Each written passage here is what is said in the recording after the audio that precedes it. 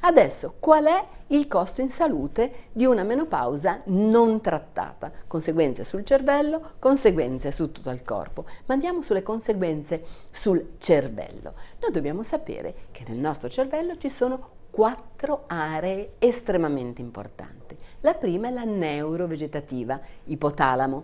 Perché?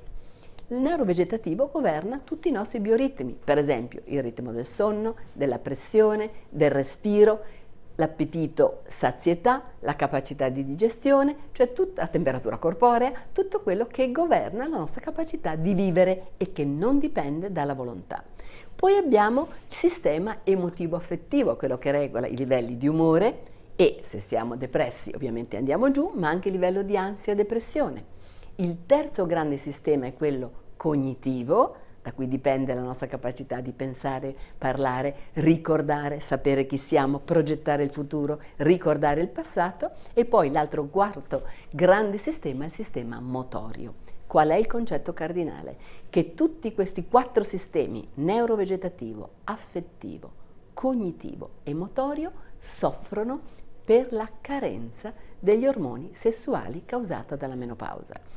Interessante, alcune donne soffrono di più a livello cerebrale, altre hanno più sintomi a livello cardiovascolare, altre più sintomi a livello articolare, ma quando le donne hanno vampate importanti, tutto il cervello sta soffrendo. Tanto vero che oggi diciamo che la vampata severa, cioè la donna che poverina si trova a doversi cambiare tanto è sudata e ha questa escursione termica marcata, poi vi faccio vedere delle immagini molto suggestive di cosa vuol dire avere una vampata, bene, questo è un segnale che predice, come diciamo noi medici, un maggior rischio di depressione severa, ma anche un maggior rischio di Alzheimer e Parkinson. Quindi non vuol dire poveretta a sventagliarsi, no, è un marcatore di vulnerabilità, ma siccome è un marcatore di vulnerabilità del cervello, ci dice anche un altro rischio, per esempio quando le donne hanno tante vampate, se noi facciamo un holter pressorio, cioè andiamo a misurare come varia la pressione nelle 24 ore,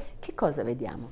Che si perde la variazione circadiana, cioè quella variazione della pressione arteriosa che di solito ha un minimo intorno alle 3 alle 4 del mattino. Quando questo nadir, questa caduta di pressione si perde, abbiamo una ipertensione maligna, ossia molto aggressiva e più difficile da trattare a livello farmacologico. Quindi la vampata ci dice attenzione, il mio cervello ha molto bisogno di ormoni, ha molto bisogno di aiuto. Come si può intervenire in questi casi? Si può intervenire con una Innanzitutto diagnosi accurata, perché certamente io parlo sempre di competenze gemelle e questo mi piace molto sottolinearlo, ossia collaborare ginecologo e specialista di riferimento. Se la donna ha, io vedo un'ipertensione, ha sempre avuto una pressione normale, magari una mia paziente da anni che improvvisamente sale su con 90-100 di minima, certamente faccio fare l'olter e la mando al cardiologo con cui dialogo poi per trovare da un lato le cure migliori a livello di terapia ormonale sostitutiva, ma dall'altro il cardiologo farà la sua parte perché magari la signora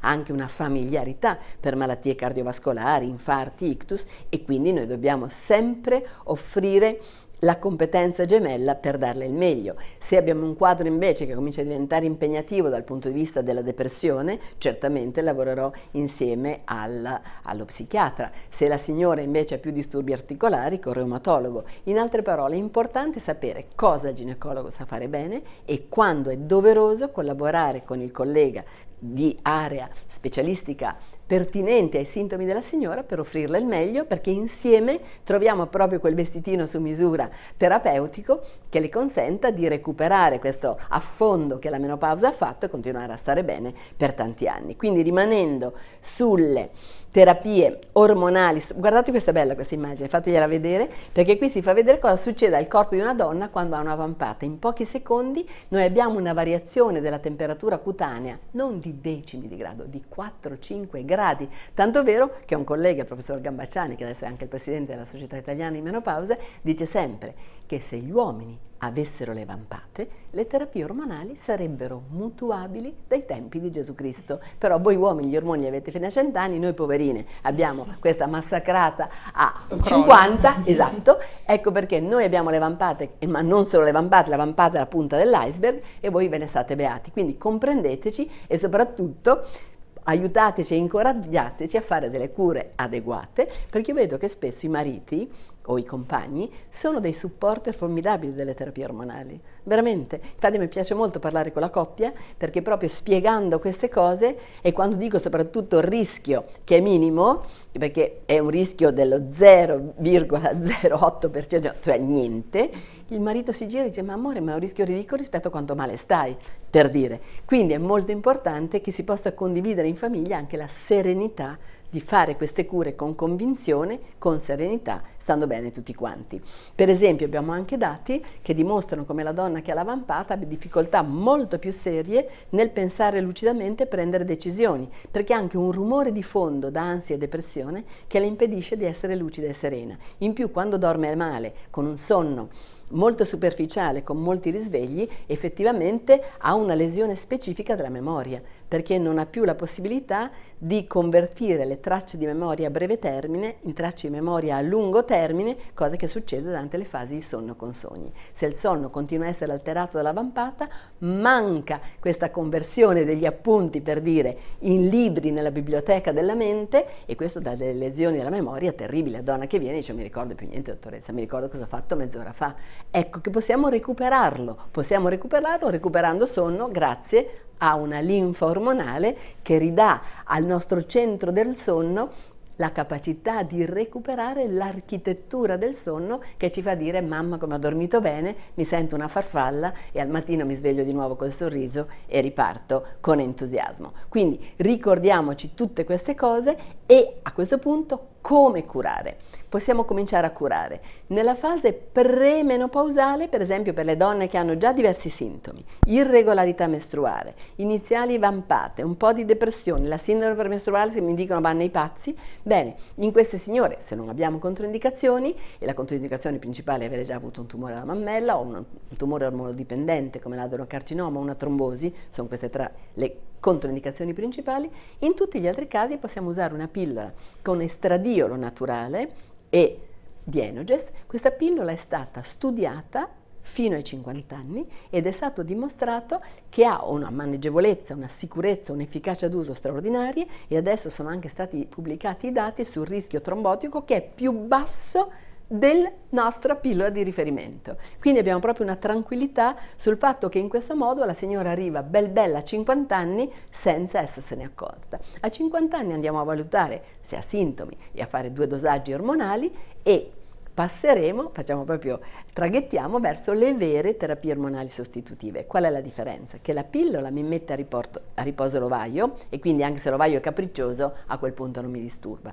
Dopo la menopausa non andiamo più a metterlo a riposo e quindi se c'è un po' di testosterone prodotto ce lo teniamo e diamo estrogeni bioidentici e progesterone naturale. Questa è la prima scelta perché è stato dimostrato che con questa combinazione non abbiamo nemmeno quell'incremento minimo del rischio alla mammella che ci dava invece la terapia che era stata fatta in America. Poi valuteremo se integrare con un po' di testosterone, soprattutto di estrazione vegetale impomata, perché questo ci ridà una sessualità che avevamo dimenticato, eventualmente un po' di idea, questo ormone del surrene, ormone della giovinezza, perché consente a ogni tessuto di prodursi poi gli ormoni figli, cioè l'estrogeno e il progesterone, e quindi di ridarci quel benessere tissutale che altrimenti abbiamo perduto. Faccio un esempio concreto. Se la donna prende 10 mg di DEA, dico la quantità perché ci sono studi precisi su queste quantità, e fa attività fisica, il suo muscolo capta dal sangue il DEA, lo trasforma in testosterone ed estrogeni e costruisce più proteine contrattili, la miosina, l'actomiosina, la tropomiosina. Cosa succede? Che noi facciamo attività fisica e abbiamo di nuovo quei bei muscoletti di una volta, invece che fare una fatica titanica per avere dei muscoli così con le braccine a vela. Se leggo, se studio, se mantengo vivo il mio cervello, il cervello capta il DEA e me lo trasforma in estrogeni e testosterone. E sulla mammella, direte voi? Bene, sulla mammella il DEA va sui recettori beta degli estrogeni che sono antiproliferativi e riparativi, quindi non ci dà inquietudini purché il dosaggio sia quello che ho detto, o 10 o 25, ma sarà il medico a decidere, non fate autogestioni, non di più, perché sappiamo che al di sopra di questa quantità gli ormoni figli diventano troppo alti. Quindi, quando parliamo di terapia ormonale sostitutiva, significa che noi dobbiamo dare la quantità di ormoni giusta anche per quella taglia di donna. Io su questo insisto molto. È diverso quello che do a una che pesa 40 kg e una che me ne pesa 80. A quella di 120 non glieli do proprio. Perché? Mi produce già tantissimo estrogeno, estrone, cattivissimo lei col tessuto adipose. Non vado ad aumentare i rischi, anzi, semmai do un po' di progesterone per proteggere l'utero. Quindi, quando dico su misura, devo tener conto del peso corporeo, dei rischi, delle controindicazioni e, vera, e, dei sintomi naturalmente che la signora ha, in modo di poter dare, a seconda dell'età e di queste caratteristiche, quel vestitino su misura che sia giusto per lei e che vada a minimizzare i rischi e a valorizzare i benefici della terapia, sempre, lo ripeto sempre, con stili di vita sani. Non do la terapia a donne che non hanno stili di vita adeguati perché questo significa solo potenziare i guai. Grazie dottoressa, come sempre chiara ed efficace nell'esposizione, come sempre il tempo a disposizione è volato via. Ringraziamo doppiamente la dottoressa per la disponibilità e l'ospitalità e per qualsiasi riferimento vi manderemo in sovraimpressione tutte quelle che sono i link piuttosto che i riferimenti Facebook e i siti. Grazie per essere stati con noi e arrivederci. Grazie ancora.